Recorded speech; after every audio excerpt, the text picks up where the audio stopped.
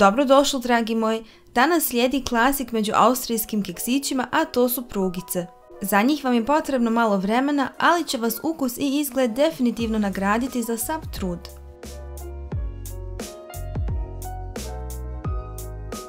Pripremite brašno, šećer u prahu i vanilju, koricu od naranđe i limuna, ovu suhu varijantu koristim kada mogu pronaći naranđu i limun koji nisu špricani, so, žumanjke i maslac, marcipan, šećer u prahu, maslac, bjelanjak i marmeladu. U prvom koraku u posudu za miješanje sipajte maslac, šećer u prahu i vaniliju u prahu, prstohvat soli, koricu od naranđe i limuna i žumanjke. Sastojke sjedinite ručno ili pomoću miksera, a zatim postepeno dodajte brašno. Nekoliko savjeta usput. Prhko tijesto ne trebate predugo mjesiti jer se inače maslac odvoji od ostalih sastojaka i tijesto bukvalno možete baciti. Ovaj korak volim da odradim ručno, a vi možete po želji koristiti i kuhinsku mašinu. Kad se tijesto više ne lijepi za posudu, prepolovite ga i svaku polovicu umotajte u sloj prozirne folije.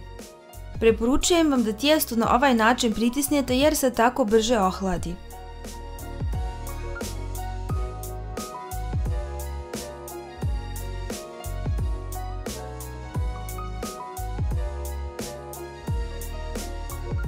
Tijesto stavite u frižider na 30 do 45 minuta ili čak malo duže zavisno od vašeg frižidera. Nakon tog vremena ga izvadite iz folije, iskomadajte i ponovo ugrijte.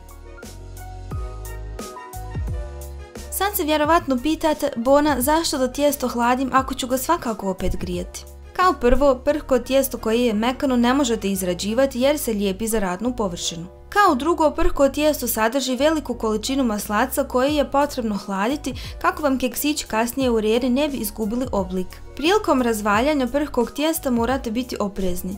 Ne koristite previše brašna jer ono tijesto isušuje. Osim toga je dobro ako tijesto svako malo pomjerate jer vam se tako neće lijepiti za radnu površinu.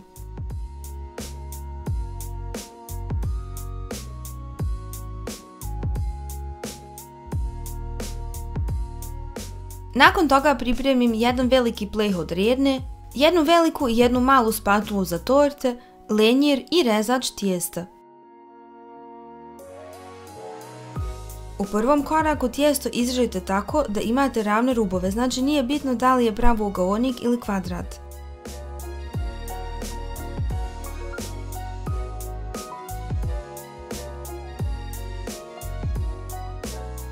Tijesto koje odstranite umotajte u prozirnu foliju i stavite najbolje u frižider. Ploču tijesta izržite na trake od 4 cm širine.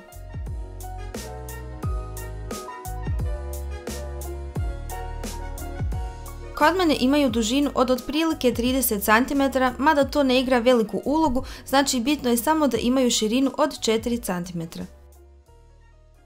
Zatim uzmem malu spatulu, prođem ispod trake i pomoću velike spatule je podignem i stavim na pleh.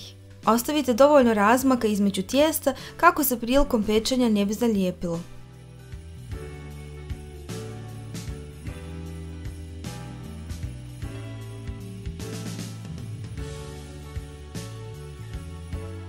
Prije nego što ih stavite na pečenje, ispodskajte ih viljuškom. Pecite ih u zagrijanoj rijedni na 180 stepeni, gornji donji grijač jedno 10 do 12 minuta. Gotove su kad rubovi poprime zlatno žutu boju, a u sredini još ostanu bijeli. Sad ću vam pokazati kako to izgleda, a prije toga je potrebno da cijelo tijesto potrošite. Znači ponovo se ugrije, razvalja, izraže na trake, prebaci na pleh i izbocka.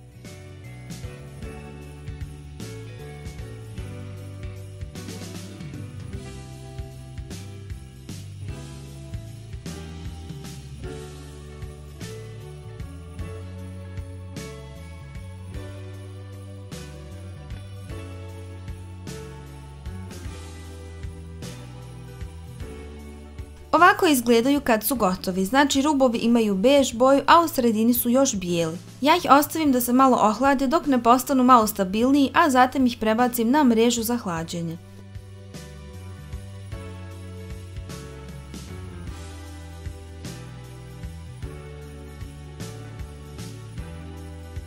U sljedećem koraku zagrijte marmeladu dok ne postane topla.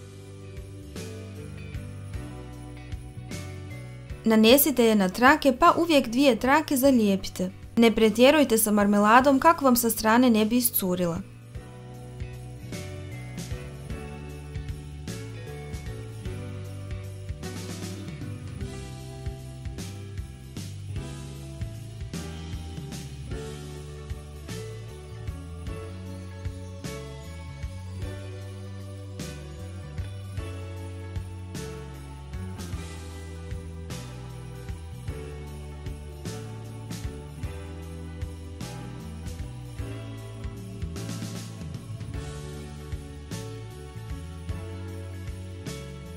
Gotove trake stavim na tacnu, a između jedan sloj pek papira kako se ne bi zalijepili, pa ih stavim u frižider na minimalno 30 minuta. Za fil od marcipana kremosto umutite šećer i bjelanjak. Potom dodajte omekšali maslac i marcipan.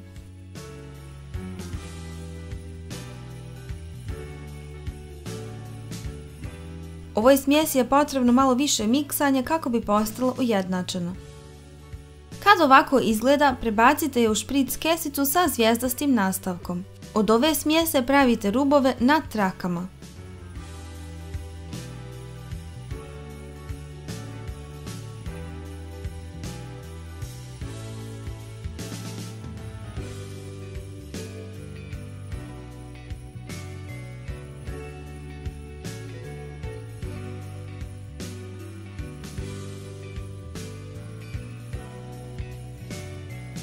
Ponovo ih prebacite na pleh i stavite u renu na 230 stepeni gornji grijač ili na grill funkciji. Gotovi su kad rubovi poprime ovako zlatno žutu boju.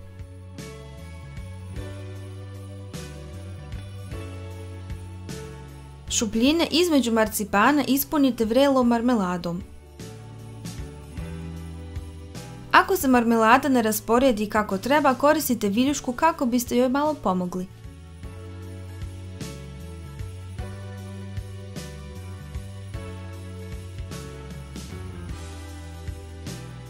Ova crna marmelada koju koristim je pekmez od šljiva, znači možete koristiti slobodno i druge vrste.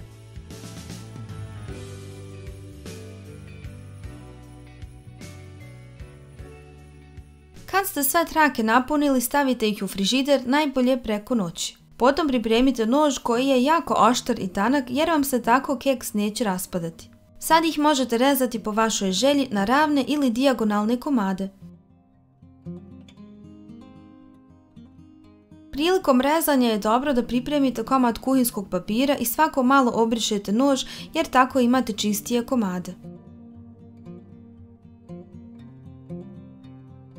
To što vrijedi za druge keksiće vrijedi i za prugice, najbolje ih držite u boksu koji ste obložili kuhinskim papirom na hladnom mjestu. Tu mogu izdržati i nekoliko sedmica bez da se pokvare. Vjerujte mi da ova kombinacija marmelade, prhkog tijesta i marcipana nešto savršeno i nešto što definitivno morate isprobati. Hvala lijepa na gledanju pa se vidimo u sljedećem videu.